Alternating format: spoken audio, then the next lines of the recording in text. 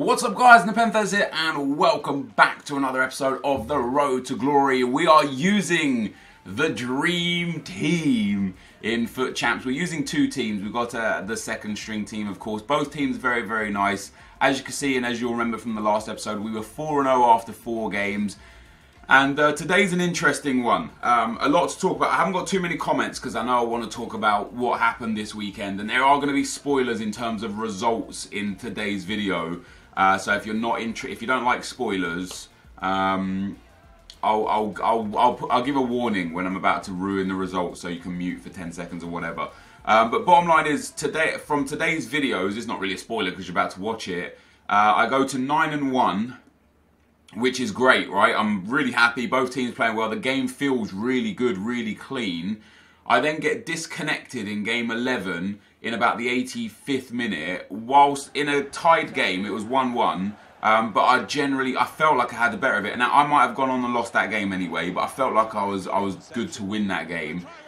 And uh, you, you, know, my feelings is irrelevant. My opponent probably felt like he was going to win too, right? But uh, bottom line is, I wasn't losing, and I got a disconnect loss. And two things happened with that disconnect loss. Number one, it, it, it, triggered me to a point where I lost interest in FIFA. Um, as crazy as that sounds, I wasn't angry. Uh, like I literally tweeted out that I disconnected uh, from the servers, and Marshall, who I was talking to at the time, was like, "Damn man, I didn't even hear you like get mad or anything." And I was just like, you know what? I'm, I'm not. I'm just, I'm so over it now. I'm so over it. And uh, what it did is it, it made me lose so much interest in playing in FIFA that I went on, and here is here is a a, a warning for the uh, the spoilers. Um, I went on and, and lost the next three games in a row after that, and then two of the next four to the point where after 20 games I was 13 and 7. Um, so if you want to come back now, you're more than more than happy to come back and listen. So of of that, a part of the reason why, and and I never ever ever like to use. Um, like input delay and stuff as a, as a as an excuse to lose, right? You never hear me complain about input delay, or very rarely. I think two times in, in my whole nearly 300 episodes of Road to Glory have I ever said, "Damn man, the input delay cost me here." But the game was smooth and clean up until nine and one. Got the DC loss, and then it was just horrendous to play in.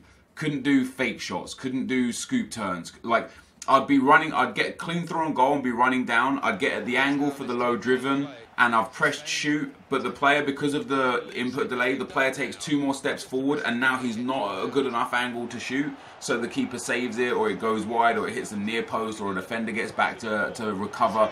And it basically absolutely screwed me completely to the point where it was unplayable. And a lot of people say, why, why, why did you keep playing? Why didn't you just stop playing? Why didn't you take a break? And my response to that is a response is what it will always be every single weekend that I play through the, the, the tough parts of the game is because I don't have the luxury of having the time to take you know, an hour break every game. Or I don't, you know, a lot of people are like, oh, why don't you just pick it back up tomorrow, being Saturday, being today? And uh, quite simply because I don't have the time for that. You know, the, the if, if that was the situation, um, I would uh, I would only ever get through about 15 to 20 games a week, and that's just not enough. I want to get through all 40 games, and to get through all 40 games, sometimes because of how much time I put into recording, editing, both channels, sometimes streaming, the fact that I have a family and have things to do in my personal life, you know, I don't have the time to be like, oh, let me just go and take two hours and wait for the gameplay to recover. Um, and, and uh, again, as you guys know, I don't necessarily, I don't, I don't blame bad gameplay. I, in fact, I, I kind of quite a lot. I look at people that say talk about bad gameplay, and I think, is it bad gameplay, or are you just playing bad? You know, like, are you just coming up against, uh, you know, is, is the matchmaking not favouring you this weekend, and you're coming up against really difficult opponents for a change, and you know, things just not really going your way?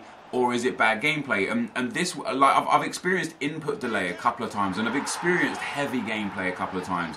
But this weekend league, it was like just constant every single game, and it caused me so many issues. And coupled with the fact that I was in in a I, like I literally wasn't even getting mad dudes. I went I went 6-0 down in the game in the next episode by the 25th minute.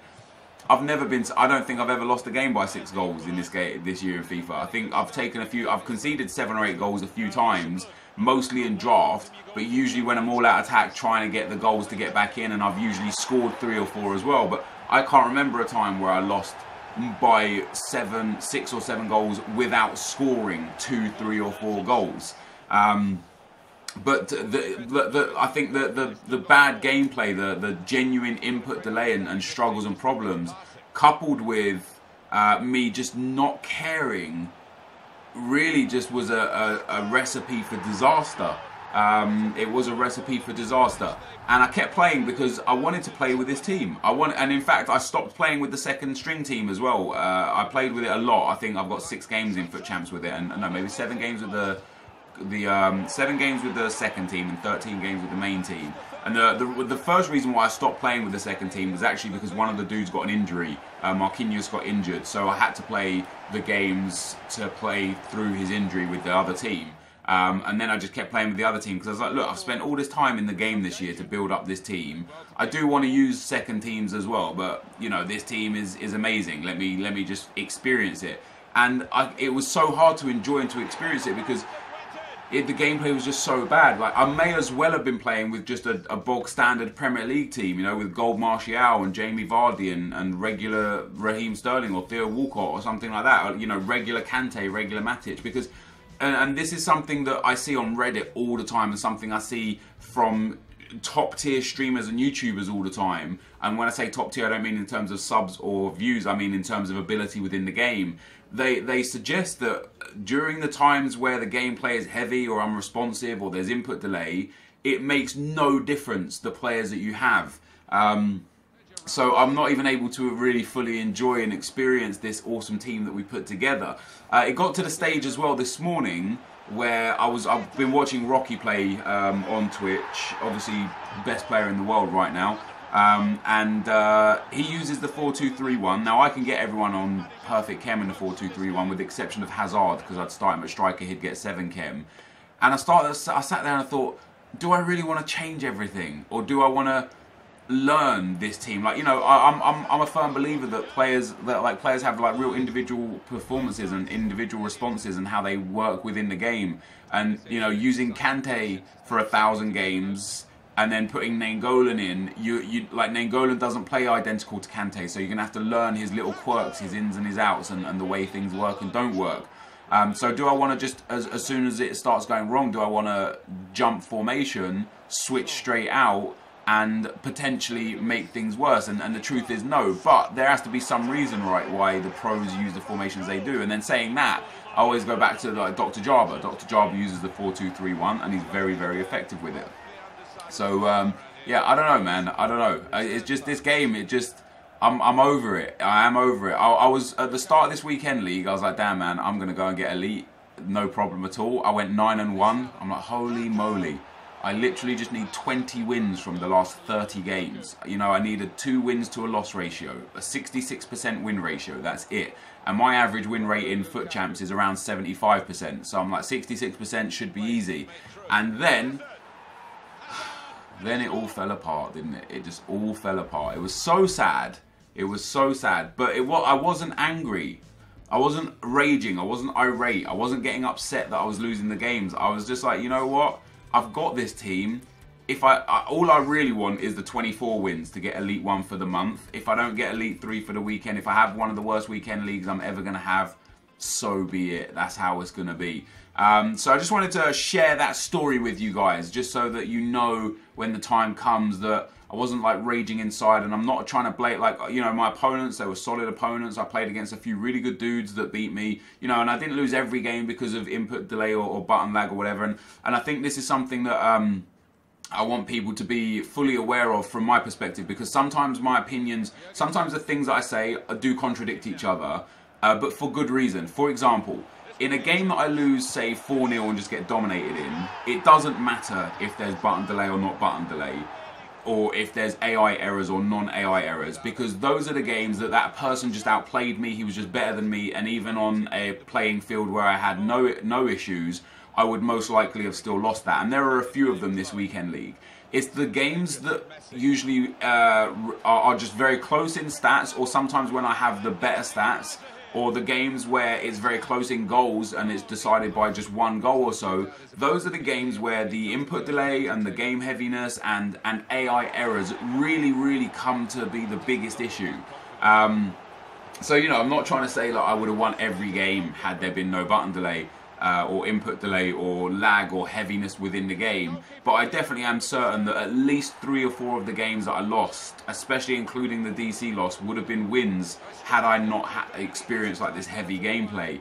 Um, but I've talked about enough. I've talked about 10 minutes. I didn't. I thought it was just going to be like a two minute. Hey, this is some problems. Let's go forwards. But yeah, 10 minutes of me talking about uh, me giving excuses basically. And, and I want you guys to know, it's, I'm I'm not trying to say this to make excuses. I'm just trying to say it because I, I like to rationalize it for myself. I like to be like, hey, here's here's why certain things went wrong. And and the saddest thing, and one of the things that I read on Reddit today about a thread in a thread where somebody's talking about why he stopped playing FIFA is because in, in another game, in any other game, in League of Legends, if you get outplayed or if you make a mistake, you can see that mistake you can learn from that mistake and you can improve on that mistake. In FIFA, if somebody puts a through ball through and your AI defender auto lunges to give him a, a goal, you can't improve on that because you didn't do anything wrong. You didn't make a mistake. The AI made a mistake on your behalf. And like I said, in games where you're smashing someone 5 0 and in games where you're getting smashed 5 0, those mistakes are largely irrelevant because they don't change the general outcome of the game. But in close games where everything matters, they can be the difference. And then when you look at pros, that's where the close games are, right? At the top, top level. I'm not, I'm not saying that you have never been in a close game, but just generally speaking, over time, you'll get more close games at the top level, especially at tournaments and stuff and at events. Those are the dudes that suffer the most from it. Like when Shells didn't get 81, didn't win that extra 80 grand against Rocky because he pressed to clear the ball and the game just didn't clear the ball. You can't learn from that as a player. You can't grow from that mistake because it was the game's mistake, not your mistake. Um, so I'm not I'm not like making excuses for my losses. You know, we've lost so many games this year in FIFA, more than I ever thought. I'd, I've lost more games than I thought I'd probably win this year in FIFA. You know what I mean? Like I've lost nearly 600 games. I never thought I'd win 600 games in FIFA, um, but that's where we're at. Uh, I did have some other comments, um, but because I've spoken for too long, oh, the first thing I do want to address is mocking commenter says use Fernando team of the season in the fun team at CM. He gets full chem, puts proms on full chem as one of the best centre mids in the game take that on board, dude. I, I, honestly, when I was looking for centre mids, I, I didn't even see him. Like I didn't see it. Like it, when I went to like the Russian league special cards and stuff, I didn't see him there as an option. I don't know why he wasn't in concept players, but yeah, I'll definitely go and get him. I think he'll be a good addition to the team. And to everyone that suggested that, I appreciate the uh, the advice. Literally, just didn't see him there, and I think he'll be a, a good improvement to the team. Um, not that Guardado is bad because Guardado looks good, and I might use Guardado as a sub.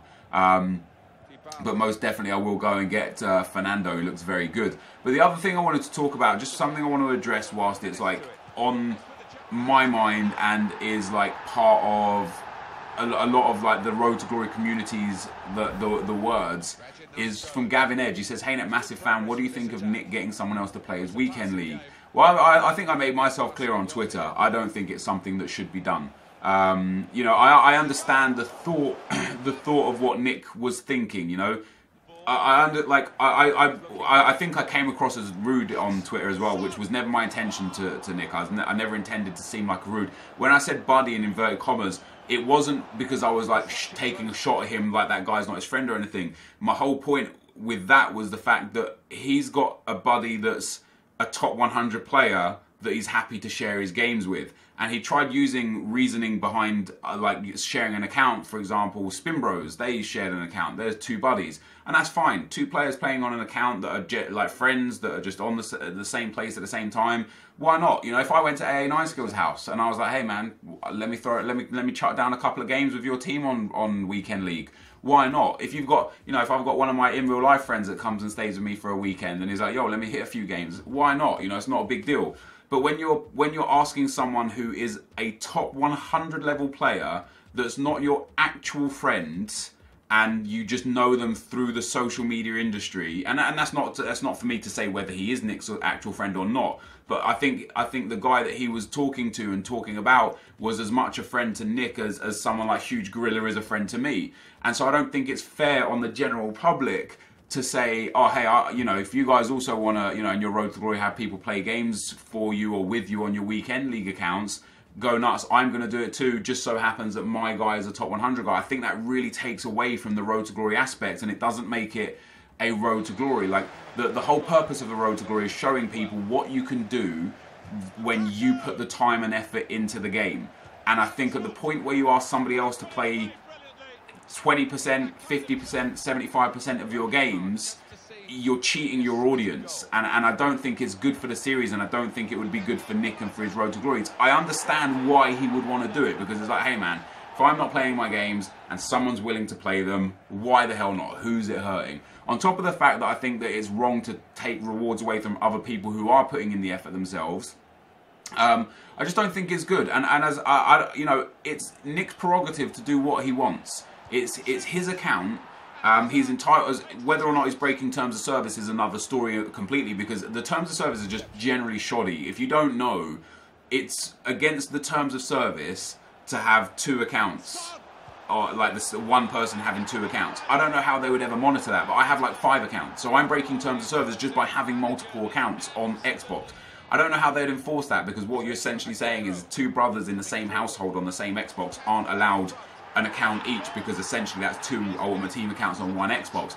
I just think that's a moronic term of service. So there are terms of service that I'm breaking. There's and and this would also be uh, you know against terms of service, but. um I just, I just don't think it would be good. Uh, you know, and uh, like I said, it's Nick's prerogative. If he wants to do that, if that's how he wants to run his his series in FIFA 18 and for the rest of FIFA 17, um, is more than entitled to do that. It's, it's entirely up to him how he how he entertains within a series. You know, like I saw a lot of people like getting on it, getting on his back for it. And although I don't agree with it, like I say, YouTube and, and streaming and what we do in this industry is about entertaining. And if it would be more entertaining, in his opinion, for his viewers to have somebody else share the games with him on his account, then go nuts. You know, it, like the worst that can happen is that it fails and he has to do something different. You know, the best that can happen is that it might be a glaring success that everyone thoroughly enjoys. But for me personally, I don't think it's something that I would enjoy or I like. I wouldn't feel good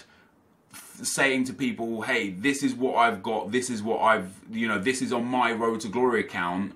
Knowing that somebody else half earned what I had on the account. That that would be my perspective from it. But as I say, if, if, if Nick wants to do it, if that's if that's what his intentions are, and I, as I say, I understand why. He's a family man. He works a lot of hours, and FUT champs is stressful. You know what I mean? So, like for me personally, I've had to sacrifice a lot of weekends with my family to play FUT champs to give content for you guys. And don't get me wrong, I enjoy it. It's, it's my job. I earn a living from it. I, you know, that's like a normal dad running a normal job. Going, oh man, can't believe I had to go to work today. I couldn't spend time with my family because I had to go to work. Like I get, I get that. Um, but yeah, bottom line is, like I, I personally don't agree with it. I don't think it would be fun. I think it would take away from what a road to glory is supposed to be. But I understand where Nick comes from, why he would want it, and I also understand the fact that it is his prerogative to do what he would like to do on his account.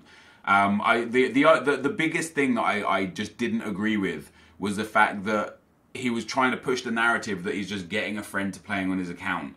And it's not just a friend, it's a top 100 friend. Not everybody that can have a friend play on their account is a top 100 friend. And that I, I didn't see him asking another random in the chat, you know, oh, hey, you want to play on my account one weekend and finish some of my games? Oh, but Nick, I only finished Silver 2. That's cool, you're a buddy of mine. If you, you know, just as many more wins as you get is, is helpful for the series. It wasn't a narrative where he was like just happy to have a friend or someone that he knows play on his account. It was the narrative that it was a top 100 that kind of got a little bit, not under my skin, but was kind of like a little bit like, mm, come on, man, you can't, you can't like sit there and say, oh, I'm just going to have a buddy play on my account. And that's why I put inverted commas buddy. It wasn't to take a shot on Nick with that. It was it was kind of like to to show the fact that his his buddy is a top 100 guy, not just a random person that also plays FIFA. Um, that that that was the only concern I had with it really. Because uh, but again, if that's what Nick wants to do to make his series entertaining, in his opinion, he is more than entitled to do that. Um, but this, guys, is going to be where the video ends. If you did enjoy it, be sure to leave a like, rating, comment, and subscribe to my channel if you haven't already. But for now, guys, I'm out. Peace.